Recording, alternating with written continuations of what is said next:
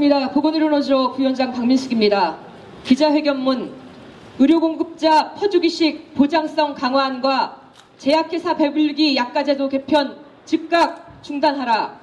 생색내기용 선별적 보장성 강화하는 즉각 철회되어야 한다. 건강보험 흑자는 병원이 아니라 국민들을 위해 써야 한다. 건강보험 흑자를 이유로 국고 지원을 축소하려 해선 절대 안 된다. 제약회사의 이익을 위해서 건강보험 흑자를 사용해서는 안 된다. 정부가 2015년부터 5년간 진행할 중장기 보장성 강화안을 오늘 결정한다. 원래 지난번 계획이 2013년에 만료되었으므로 최소한 작년에는 보장성 강화안이 결정되어 어, 되어야만 했다. 그럼에도 정부는 건강보험의 보장성 강화보다는 각종 의료민영화 정책 추진에만 집중하여 무려 1년이 지나서야 보장성 강화안을 발표한다.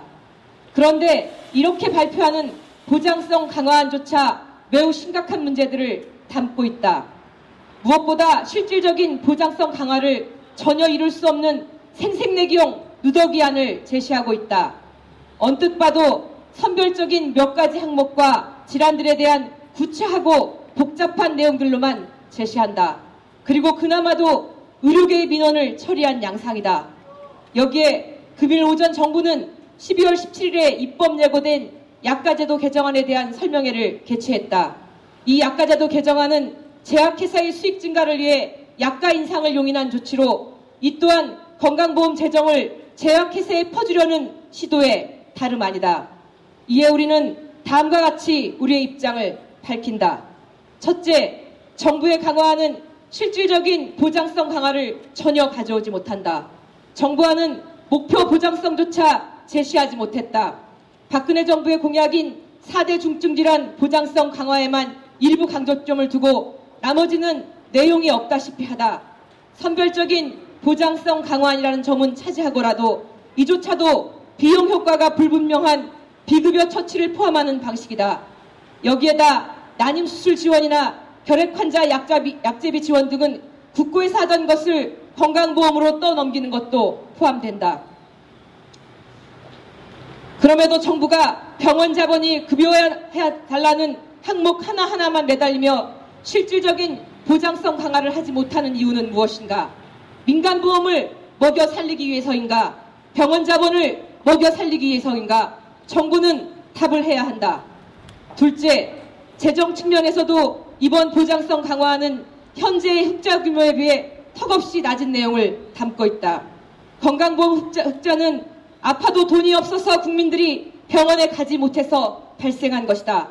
따라서 전적으로 국민들의 의료 접근성 향상을 위해 소진하는 것이 맞다. 무엇보다 건강보험 흑자 자체가 정부의 의료정책 실패를 반증하는 것으로 조속히 시정해야 하는 부분이다.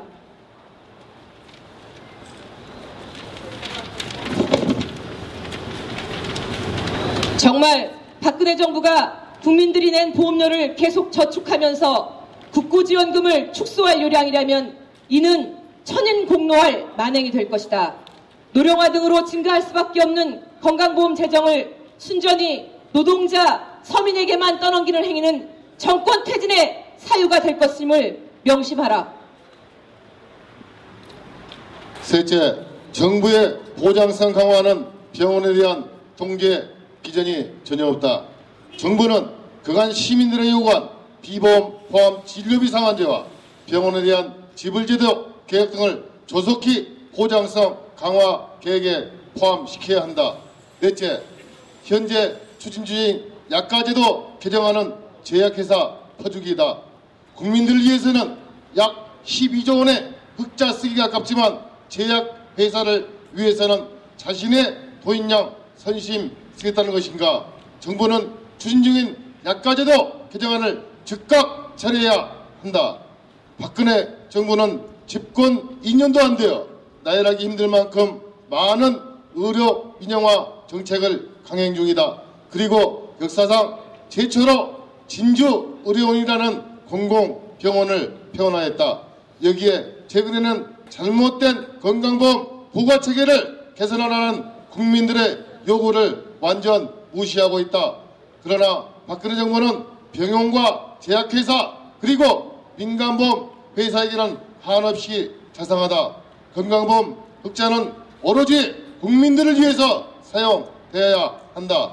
건강보험 보장성을 확대하고 의료의 질 향상을 위한 공공병원 확대와 보건의료 인력 확보를 위해 사용돼야 한다.